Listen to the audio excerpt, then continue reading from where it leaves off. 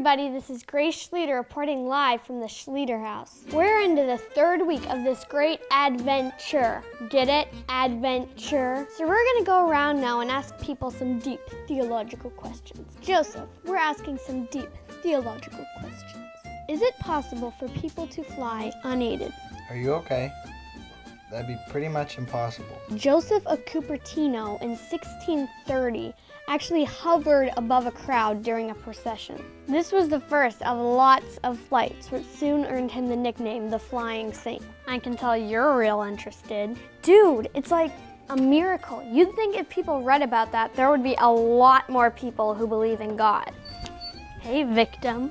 So, I've got a deep theological question for you. Is it possible for an ordinary wooden statue of a woman to cry? Yeah, Anne Marie, Catherine. Grace? We are not wooden. Why would a wooden statue cry? That's what I'm asking you. Don't you have anything better to do? Wooden statues don't cry. Are you sure about that? Uh, yeah, physics How about theology? can't happen. Can. Just go away. Sister Agnes from Japan had special apparitions, which are appearances, from our Blessed Mother. And a statue there wept tears of blood 101 times. Talk about awesome. One time, even on national TV for everyone to see. Really? You have that? Shh. And now we're going to inquire about the most impressive miracle of all. Oh, don't come in here. Go away. Grace, off of my bed. Is it possible for the boys' room to be clean for more than 24 hours? Uh, impossible. I don't think so. So, I guess there are some things that might be regarded as impossible, which means the room is just like a canonization indicator. Stay tuned. Let me tell you about a time where four miracles happen at one time. Number one, an angel comes to Mary. Let's just start there. Number two, though she is a virgin, the angel says she will have a son. Miracle number three, that Son is the second person in the Trinity, the God of the universe. Miracle number four.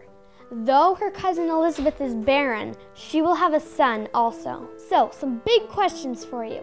What is that thing in your life that you think is impossible? Beyond what makes sense, Mary believes. She trusts in God based upon His promise. It's worth asking what is the greatest promise He has made to us? We can become saints. That's the promise of eternal life. That's what we're about.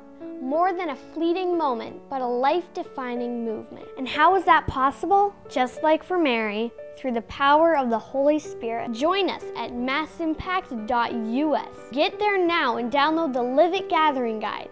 It's a great way for families to talk and pray. If you can set aside your phones, gadgets, devices, it will be the best 30 minutes you've had in a long time.